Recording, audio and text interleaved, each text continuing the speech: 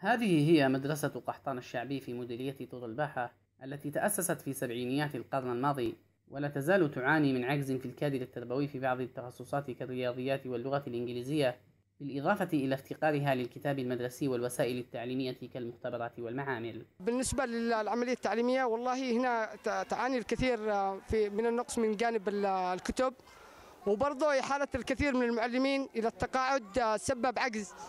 وتوقف برضه التوظيف من عام 2011 سبب عجز أكثر. يعني هناك باتت مدرسة قحطان الشعبي للبنات بحاجة إلى توفير الكادر التربوي ولا توفير الكتب.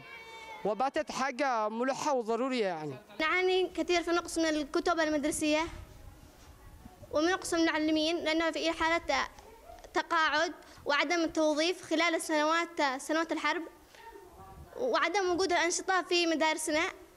يعني زي المدن المدارس والمسابقات والوسائل التعليمية. هنا في عزلة شعب ظلت هذه هي المنطقة الرائدة لسنوات في إقبال الفتيات على التعليم. أكثر من غيرها من عزل المديرية إلا أنه لوحظ خلال سنوات الحرب تراجعا في نسبة الإقبال حيث تسربت فتيات من المدرسة لأسباب عدة. أبرزها عدم عودة بعض الأسر النازحة جراء شح مياه الشرب في المنطقة والإحباط الذي خلفه نقص المعلمين. وعدم توظيف نظيراتهن من الخريجات فضلا عن الآثار الاقتصادية والاجتماعية والنفسية المترتبة نتيجة الحرب. ظروف الأحداث الأخيرة أدى نزوح كثير من السكان. فبعض السكان للآن لم يتمكنوا من العودة إلى المنطقة وعانت كثير من الطلبه كثير من الطلبة كثير من عانوا اللي هو مشاكل نفسية بسبب الأحداث التي عانتها المنطقة.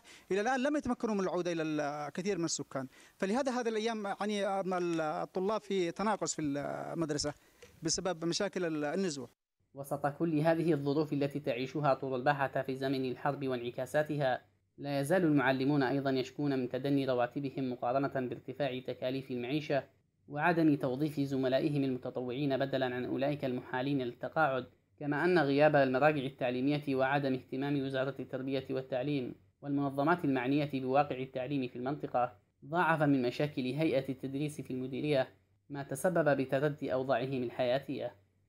سامح عبد الوهاب قناة بلقيس لاحق